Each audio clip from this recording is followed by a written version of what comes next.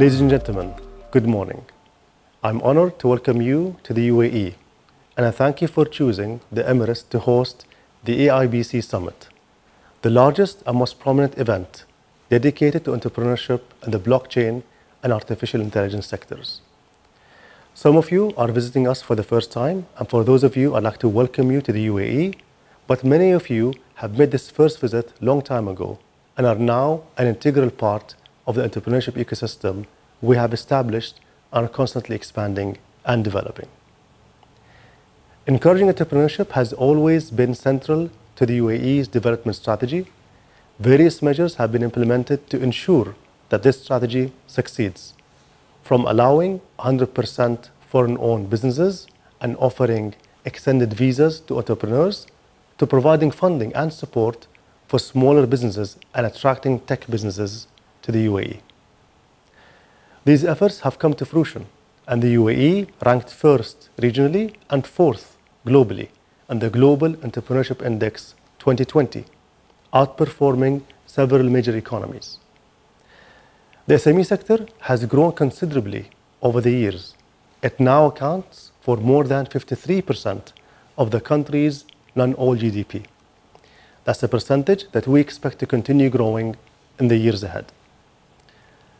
While our efforts to support entrepreneurship span every sector, one sector in particular increasingly stands out, and that is advanced technology.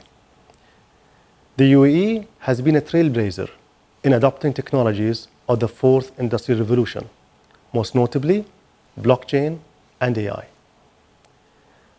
Our leadership has launched the National Program for AI to define various initiatives collaborations, partnerships, and breakthroughs in the field. In the UAE, our ambition is to become a world leader in AI by 2031, creating new economic and social opportunities for citizens, governments, and businesses. This in turn can lead up to 335 billion dirhams in extra growth.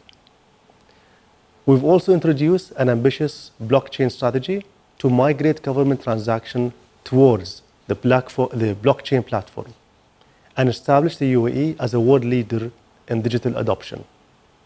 The strategy is expected to save the UAE 11 billion dirhams in transactions and documents processing, as well as 77 million work hours every year. The UAE has long championed innovation as the main ingredient to success for governments, companies, and individuals alike. But perhaps never has innovation been as important as it is right now, while the world works to recover from the COVID-19 crisis. Indeed, the pandemic has underlined our urgent need to move away from paper transactions, service centers, and cash currencies towards advanced digital platforms. This has transformed the entrepreneurship sector, bringing investments in technology to startups like never before. Here in the UAE, we are doing everything we can to create an environment to support such ventures from the launch of the Dubai Future District with 1 billion dirham fund to the creation of the dedicated tech space in Abu Dhabi Hub 71 earlier in 2019 to the ambitious government accelerators program which includes Ghadan 21, a three-year development plan with 50 billion dirhams were essentially positioned the entire country as an incubator for SMEs and entrepreneurship ventures, particularly in technology. Ladies and gentlemen, I thank you once again for being here and for bringing the ABIC Summit to the UAE. Our country is always prepared to offer a platform for bold, promising ideas and projects. I look forward to the ideas that will be brought to this table over the next two days. Thank you. Thank you